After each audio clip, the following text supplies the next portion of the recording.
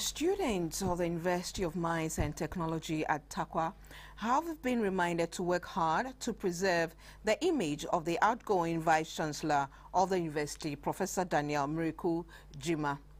The students were also encouraged to work harder at their books to make a mark in this increasingly competitive world.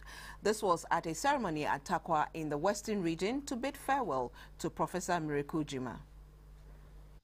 Professor Daniel Mireku Gyimah, who became the first professor of mining engineering in the West Africa sub-region, hails from Kwahu in the eastern region.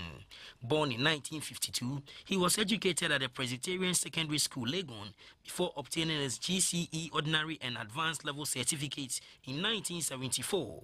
Under a Government of Ghana sponsorship, he undertook a Master of Science program in mining engineering at the Donetsk State University in Ukraine and finally completed the program in 1980 at the Moscow Mining Institute in Russia.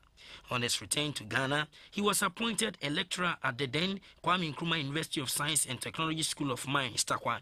He pursued PhD research in computer-aided mine design and planning at the Imperial College of Science, Technology and Medicine.